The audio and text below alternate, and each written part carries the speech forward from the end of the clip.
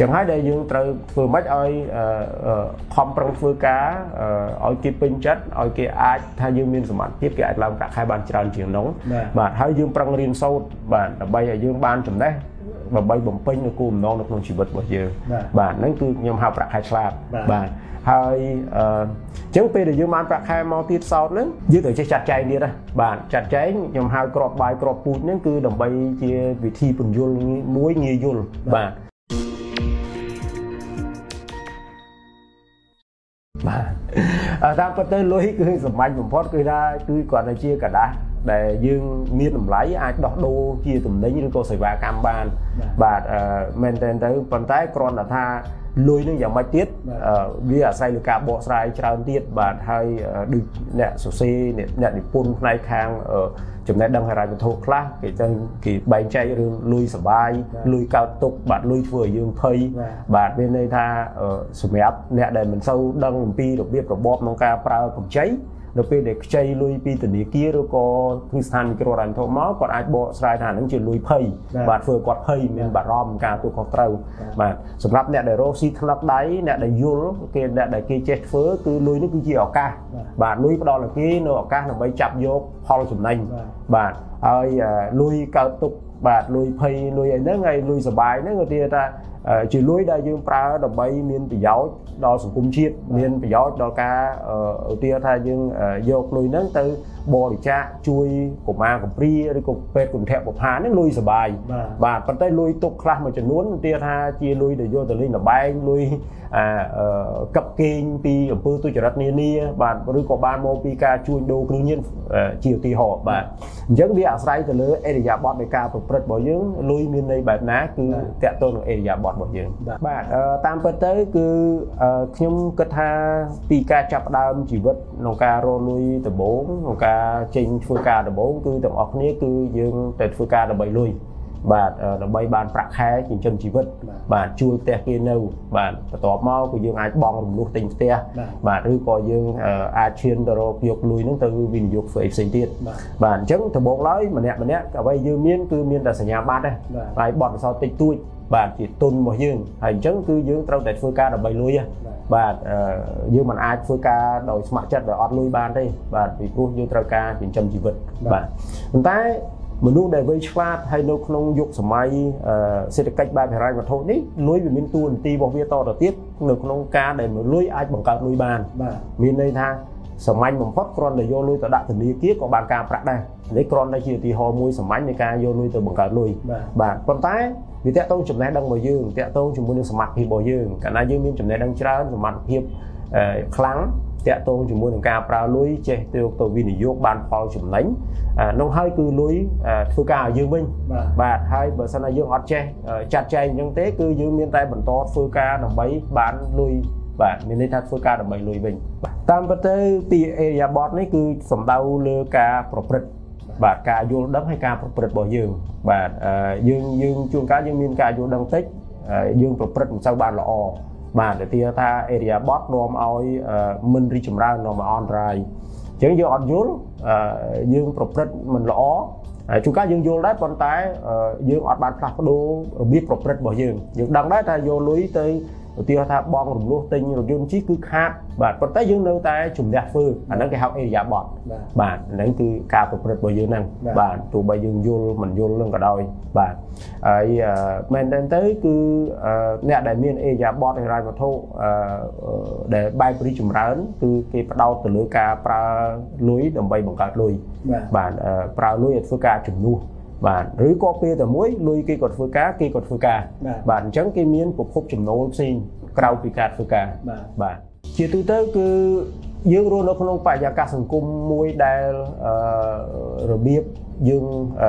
ចាប់ផ្ដើមមានភាពគេហៅថា civilized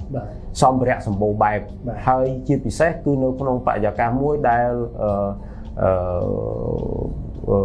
សម្បូរមានន័យថាព័ត៌មានតាមបណ្ដាញសង្គមអីវាទូលំទូលាយបាទអញ្ចឹងហើយហើយយើងសម្បូរសេវាបងរំលោះថែមទៀតបាទអញ្ចឹងធ្វើឲ្យវាជាឥទ្ធិពលដល់ការគិតនិងអេរិយាបថរបស់យើងបាទអញ្ចឹងហើយដែលទាមទារឲ្យយើងមានការសិក្សាដើម្បីបដូរអេរិយាបថរបស់យើងហើយមួយទៀតហ្នឹងគឺសង្គមមនុស្សដែលយើងខ្សែគប់បាទកាលណាយើងខ្សែគប់អ្នកដែលគាត់និយមអឺ ការប្រើប្រាស់សម្ភារៈរបៀបស៊ីវិល័យគឺយើងធ្វើម៉េចឲ្យចូលចុះបាទអញ្ចឹងហើយបិណ្ឌភាសាអង់គ្លេសគេហៅ peer បាទ peer pressure មានន័យថា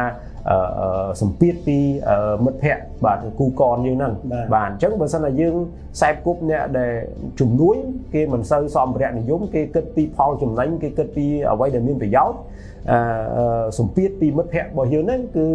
រុញឲ្យយើងទៅអញ្ចឹងណាបាទប៉ុន្តែបើសិនតែយើងនិយមមានមិត្តភ័ក្តិខ្សែគប់ជាមួយអ្នកដែលស៊ីវិល័យចាយលុយហឺហាសម្ពាធរុញឲ្យយើងហ្នឹងប្រឹងរលុយដើម្បីមកចាយដែរបាទ បាទតាមពិតទៅគឺជំនាញដែលយើងអាចមានប្រើប្រាក់ដើម្បីបង្កើតប្រាក់បានហ្នឹងទី1គឺចំណេះដឹងហិរញ្ញវត្ថុហ្នឹងហើយយើងចេះយល់ពីមូលដ្ឋានគ្រឹះនៃការខ្ចីការប្រាក់ ចំណាយយ៉ាងម៉េចបង់គេយ៉ាងម៉េចហើយអតិផរណាយ៉ាងម៉េចឬក៏ការសំវាម៉េចឬក៏ការខ្ចីយ៉ាងម៉េចហ្នឹងហានិភ័យមានអីខ្លះហ្នឹងគឺយើងត្រូវមានអាហ្នឹងជាមូលដ្ឋានជំនាញផ្នែកខាងចំណេះដឹងហិរញ្ញវត្ថុហ្នឹងជាមូលដ្ឋានតបមកគឺយើងត្រូវមាន